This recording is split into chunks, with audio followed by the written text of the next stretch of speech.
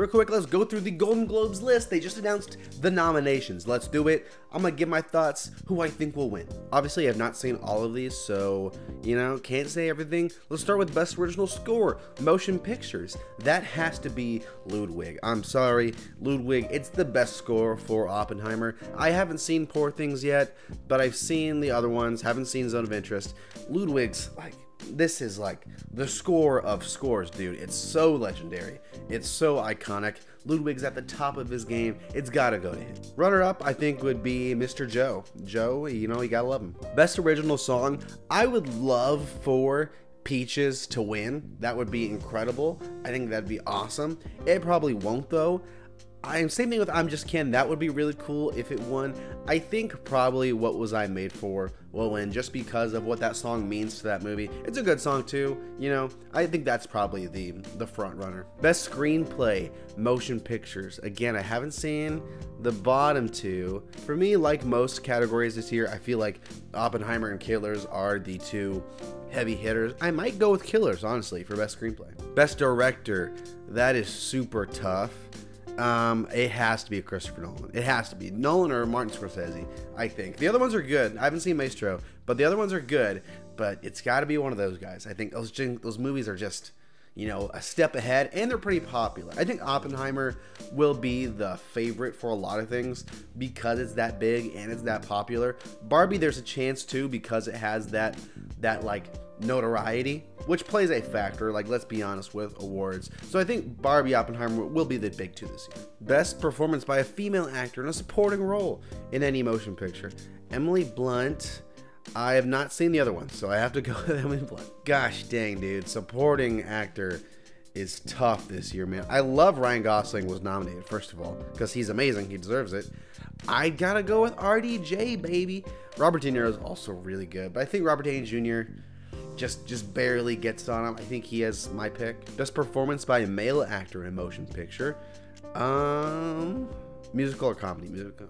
Like, why is Ryan Gosling in the any motion picture while Joaquin's only in Beau's Afraid? Because Barbie is way more of a comedy than Beau's Afraid. Like, let's be honest. I really want to watch American Fiction, but without seeing those and without seeing Wonka, Oh man, I mean, Beau's afraid. Joaquin's always he's he's Joaquin. He's always good. Best performance by a female actor in a motion picture, musical, or comedy.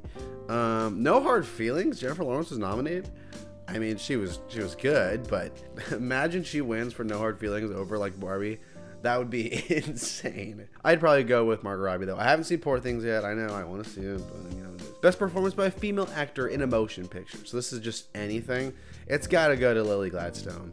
Um, also, it's the only one I've seen, but it's gotta go Gladstone, maybe. Best performance by a male actor in a motion picture. Drama. Cillian Murphy. Yeah, Cillian Murphy. That's the answer. Best motion picture non-English language. So does Boy does Boy and the Heron not count here? It should be Godzilla. Let's be honest. It should have been Godzilla for Best Motion Picture, non-English language. That's the right answer. That's the only right answer, and I'm, quite frankly, I'm boycotting because Godzilla's not nominated. Cinematic and box office achievement.